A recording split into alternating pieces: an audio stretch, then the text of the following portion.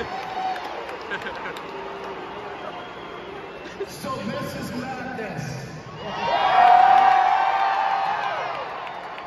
I've been missing this for 12 years.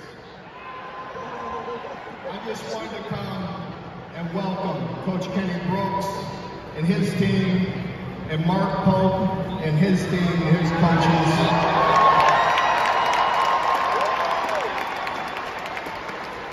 We are all in this together. I cannot thank you enough for your support to our football team, to all of our athletes. Let's go get it. Let's have a great year. Thank you all so much.